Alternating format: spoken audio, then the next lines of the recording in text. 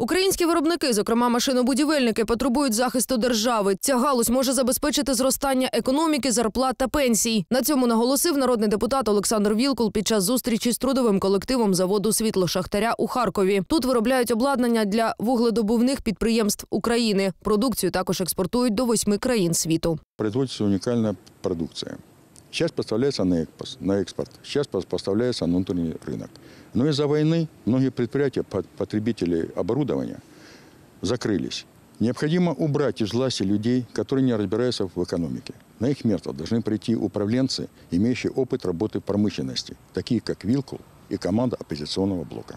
Мы можем запускать ракеты и производить высокотехнологичную продукцию. Но нас специально делают отсталой аграрной страной с 15-миллионным населением и с проданной землей. Вот в прошлом году за полугодие э, основной экспорт из Украины на первом месте – это подсолнечное масло.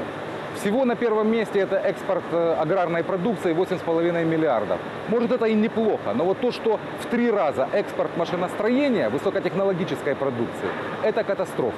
Мы имеем четкую программу, каким образом возродить промышленность, возродить машиностроение и обеспечить людей достойной работой и высокой заработной платой здесь, в Украине. Вілкул зазначив, що всі необхідні законопроекти для цього він разом з колегами із опозиційного блоку подав до Верховної Ради у рамках стратегії Нова індустріалізація. Зокрема, він пропонує створити систему пільгового кредитування для виробників, а також запустити роботу державного експортно-кредитного агентства, що допоможе вивести вітчизняну продукцію на міжнародні ринки. Це забезпечить реальне зростання зарплати пенсій, а не інфляційне, як є зараз.